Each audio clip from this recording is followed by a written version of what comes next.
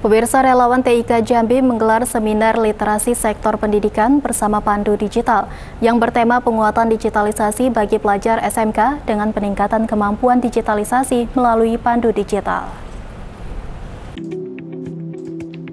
Selasa 1 Agustus 2023, relawan TIK Jambi menggelar seminar literasi sektor pendidikan bersama Pandu Digital yang bertema penguatan digitalisasi bagi pelajar SMK dengan peningkatan kemampuan digitalisasi melalui Pandu Digital di SMK PGRI 2 Kota Jambi. Dalam seminar diikuti oleh 200 peserta siswa-siswi SMK PGRI 2 Kota Jambi. Beni Purnama selaku pengurus RTIK Provinsi Jambi mengatakan, kegiatan literasi digital dapat dilakukan melalui edukasi, diseminasi dan sosialisasi konten atau materi-materi terkait dunia digital dan teknologi. Hal ini mendukung literasi digital. Oleh karena itu, diselenggarakan seminar sebagai salah satu penyelenggaraan kegiatan diseminasi dan literasi digital bagi siswa.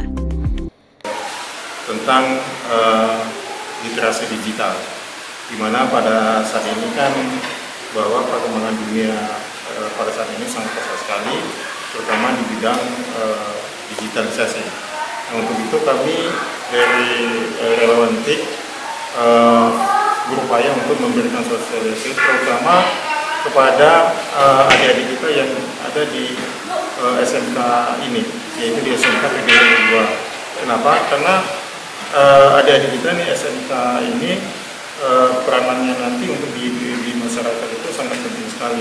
Sementara itu, Muhri, Kepala Sekolah SMK PGRI 2 Kota Jambi, menyambut baik seminar literasi digital yang digelar oleh relawan TIK Jambi ini. Di era digitalisasi ini, tentu kecakapan digitalisasi sangat penting dikuasai oleh para siswa SMK, dan ini sangat menunjang kurikulum di sekolah.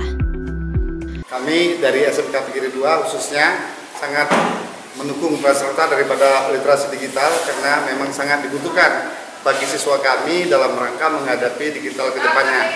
Karena sangatlah penting apabila kita menggunakan secara digital tanpa mengetahui bagaimana cara merawat digital, bagaimana menggunakan digital sehingga tidak merupakan salah satu yang sifatnya digital sebagai sarana untuk menyampaikan yang sifatnya hoax. Dalam seminar tersebut dihadiri tiga narasumber, yang dimulai dari pukul 1 hingga pukul 4. Salah satunya membahas digital etik, digital culture, dan digital safety.